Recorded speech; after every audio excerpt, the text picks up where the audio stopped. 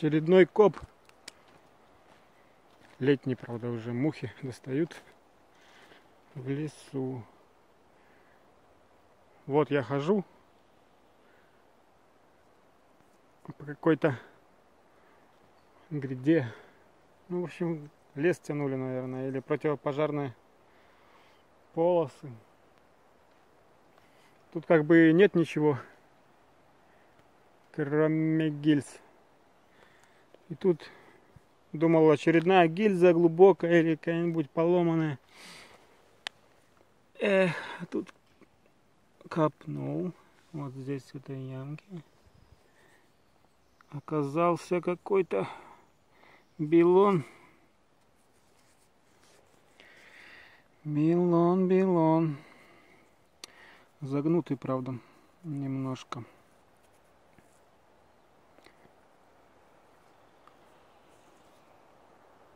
Но я совсем не ожидал.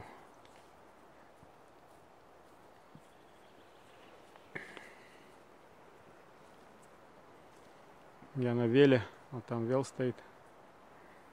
Как бы шел уже назад. Думаю, тут нет ни хрена. Теперь придется ходить, выхаживать это место. Ну вот, я не знаю, как там видно.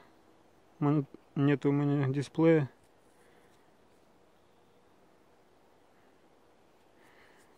Что-то, что-то, одна двадцать четвертая. Я же допутаюсь в этих грошах, полугрошах. В общем, хожу дальше. Так, вот вел опять. Вот там был 1.24 талера, наверное. Так, и рядом, вот здесь уже, вот, вот, вот, вот, лопата. Короче, рядом еще одна серебруха мелкая. Похоже на крестинку солид.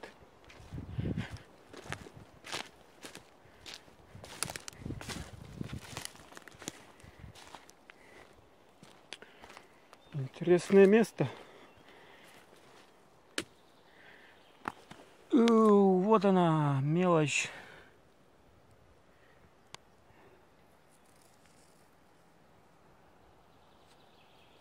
Такая толст, тол, толстоватенькая. Рижский.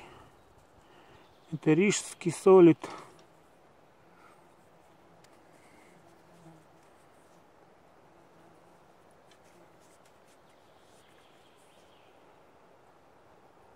Ну, нормалек.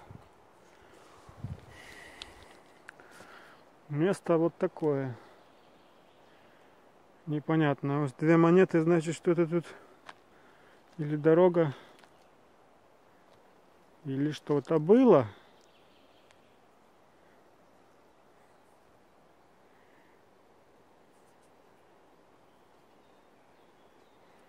Ладно, похожу еще. Так, тут сигнал.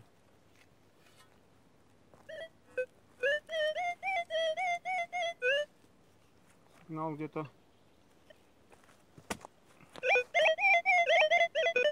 сорок пять.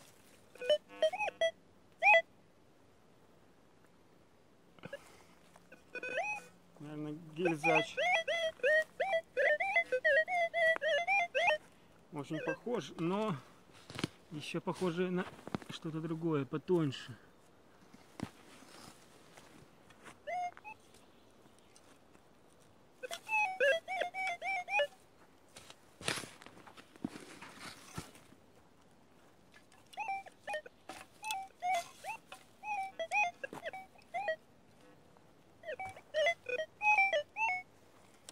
Какая-то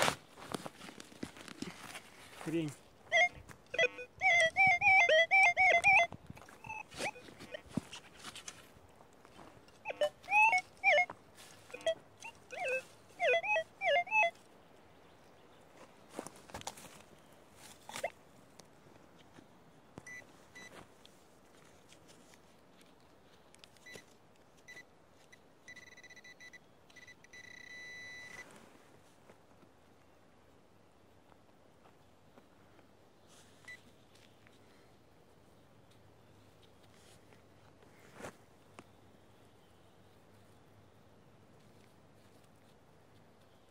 Оле, только что что-то держал.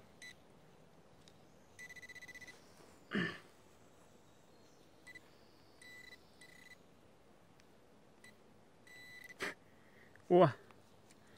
Онлайн выкопал монитосик. А что за он? Один грошик. Польский. О, видно, наверное. Да. Я думал, серебруха какая-нибудь. Ладно. Ямку закапываем. В любом случае. Ищу дальше. Короче, нету больше тут нифига. И вообще. Ну, гильзы валяются. Наверное, где-то на старую дорогу наш наступил. Пару монет поднял. И хватит. Все тогда. Коп закончен. Надо домой рулить.